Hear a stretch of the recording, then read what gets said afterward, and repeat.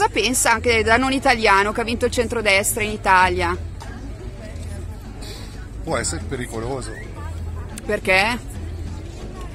non si sa, ma preoccupante. Lei da dove viene? Sono più una persona di centro, Ok. di, di- di- di- di poli estremi, Ok, lei da dove viene? Ticino, Svizzera.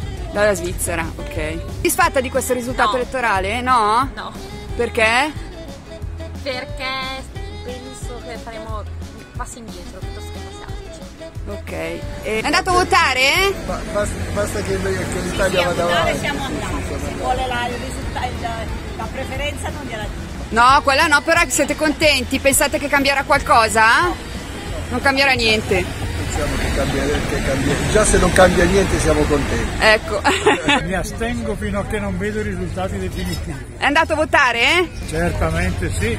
Ok. Io mi aspetto che li facciano governare, perché, ma ne dubito fortemente, perché comunque in Italia non si fanno governare i governi di centrodestra. O subentra l'opposizione comunque a prescindere, o subentra l'Europa, per cui dubito che pro- proseguiremo con un governo stabile.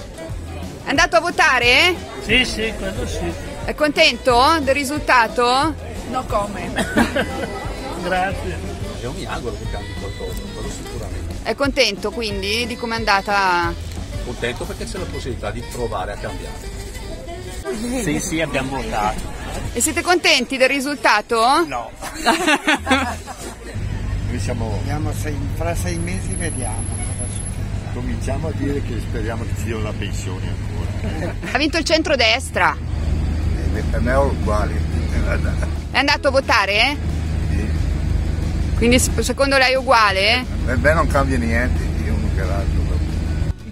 Soddisfatti? Soddisfatti del risultato elettorale. E pensate che cambierà qualcosa adesso? Beh, lo vogliamo sperare. Iniziamo la prova. Ecco, brava, mettiamo alla prova, non diamo niente per scontato. È un grosso ma- impegno per chi governerà. Però, Momento storico insomma un po' difficile. anche, infatti, Non ci dispiaceva neanche Draghi eh, come governante. anzi assolutamente. governo. Però vabbè, in ogni caso Bisognava andare a dove votare. il voto è la- l'espressione più democratica, per cui magari se avessimo Diciamo aspettato la fine eh, diciamo di- del mandato di Draghi avremmo preferito sicuramente. Cose sono andate così e quindi voto, agli italiani. Vedremo. Vediamo, vedremo, sì. Eh, no, perché la mia parte politica è in, è in crisi ma di identità, molta identità, però non mi spiego neanche come un partito che nel 2013, Fratelli d'Italia, era al 2%, sia di- arrivato al 25%. Questo vuol dire che gli italiani votano non per ideologia, ma per una questione di pancia eh, credono alle promesse che, visti eh, la situazione economica attuale, eh, non possono essere assolutamente mantenute. No, per niente. Pensate che cambierà qualcosa? Eh, forse, forse qualcosa, ma... Sicuramente in peggio. Esatto, non in bene purtroppo. Ok. E siete contenti di come è andata? Pensate che cambierà qualcosa ora? Quindi che cosa vi fa più paura di questo governo nuovo che nascerà?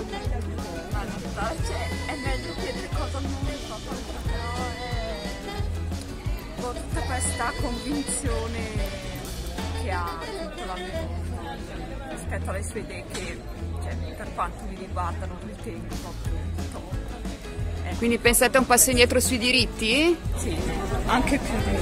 Sì. È questo che, che vi fa più paura, che temete di più? E per quanto riguarda la situazione economica, come pensate che se la caveranno? Ah guarda, quello non saprei, più che altro c'è anche nell'informarmi, mi sono concentrata di più sulla questione di diritti perché è quella che mi fa un po' più paura, diciamo. È contento? No. No, per niente?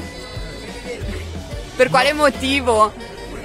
perché se chi ha vinto fa quello che ha detto in campagna elettorale, sono preoccupatissimo. E lei pensa che faranno quello che hanno promesso in campagna elettorale? No, non l'hanno mai fatto.